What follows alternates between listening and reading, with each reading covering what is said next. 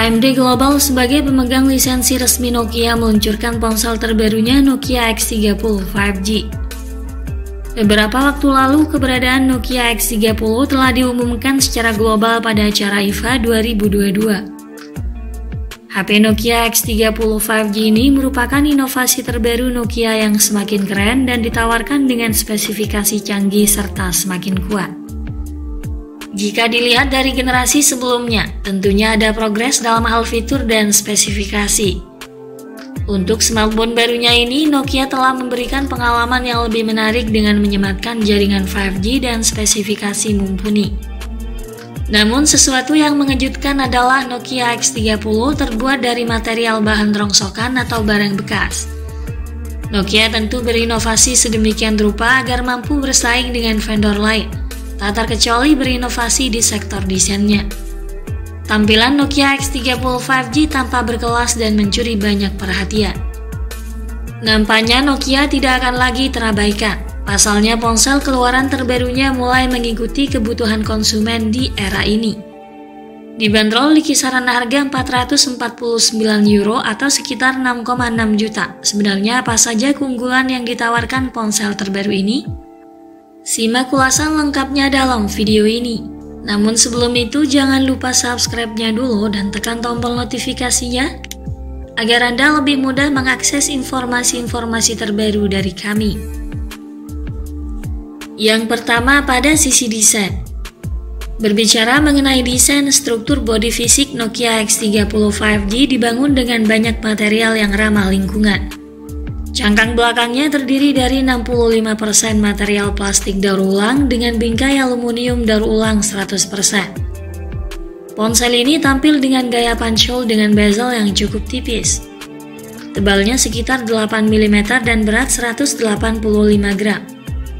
Tentunya masih tergolong ringan dan cukup nyaman saat digenggam dengan satu tangan.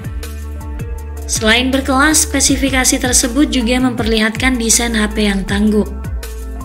HP Nokia terbaru ini merupakan smartphone pertama milik Nokia yang dibekali sertifikat IP67 atau tahan air dan debu. Yang diklaim mampu bertahan di kedalaman air 1 meter selama 30 menit. Nokia X30 juga diyakini sebagai produk yang tahan banting. Smartphone ini dapat bertahan ketika jatuh dari ketinggian 2 meter. Berikutnya untuk tampilan depan. HP Nokia X30 5G hadir dengan teknologi layar AMOLED berukuran 6,43 inci dan resolusi Full HD+, serta memiliki tingkat kecerahan mencapai 700 nits. Mampu menampilkan tampilan visual layar yang tajam dan jernih serta tampak lebih atraktif.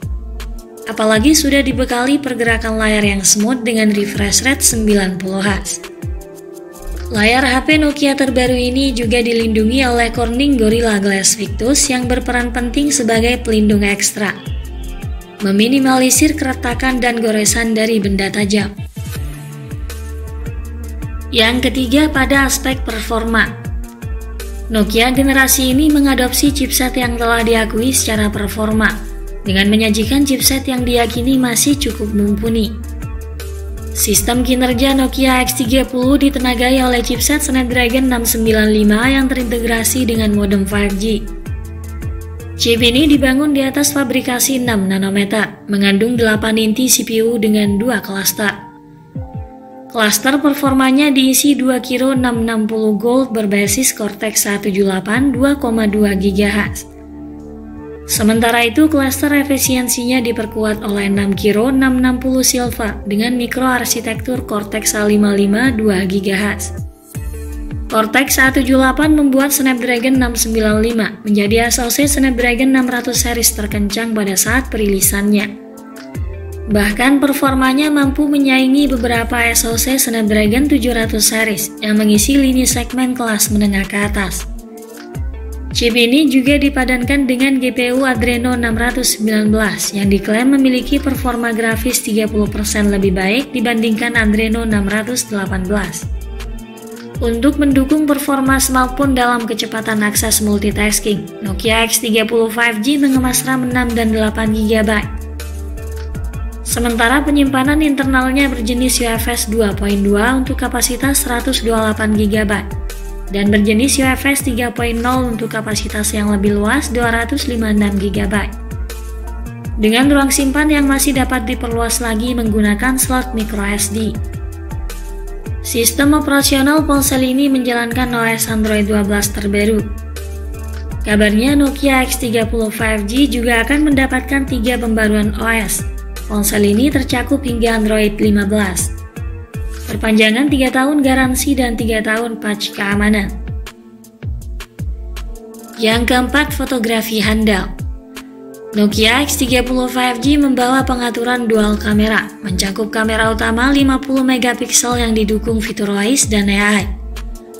Lalu kamera ultrawide 13 megapiksel.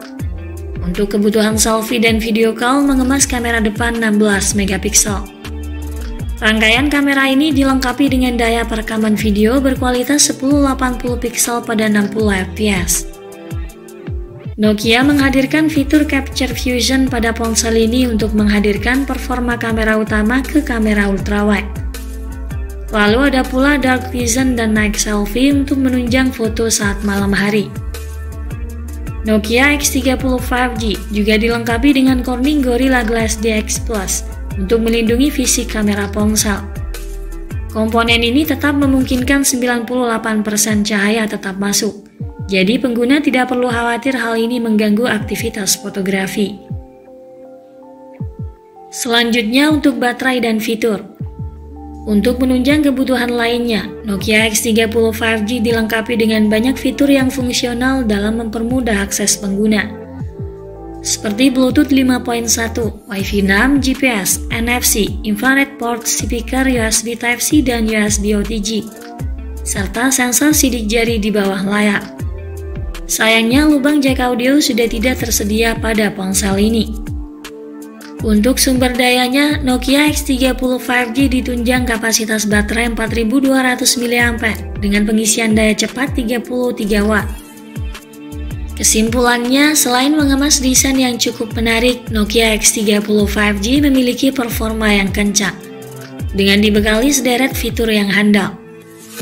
Ponsel terbaru ini menjadi salah satu ponsel yang patut dipertimbangkan oleh konsumen.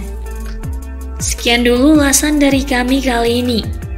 Terima kasih sudah menyimak video ini dan sampai jumpa lagi di video berikutnya.